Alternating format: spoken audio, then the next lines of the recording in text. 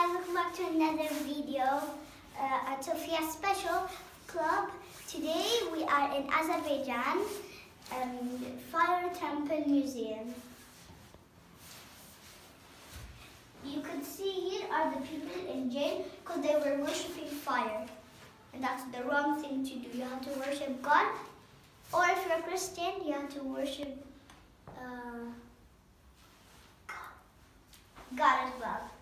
I even Muslims they believe they even they- okay forget about that. So here is an old man, Old Making- men. old man making something because he's a jail for worshiping fire. And they don't have food, so you can see they're skinny. And here are the monuments that they use that he made, I think. Pottery they're called. Pottery that he made.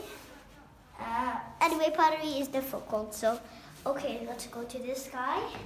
I don't know why they tie. So, when you're in jail, they tie something in your neck and then um, will lead to your um, shoe, and and you cannot really move. And um, he's sick because he's old. Um, and I think here, because they were believing in the fire, so they put out the fire.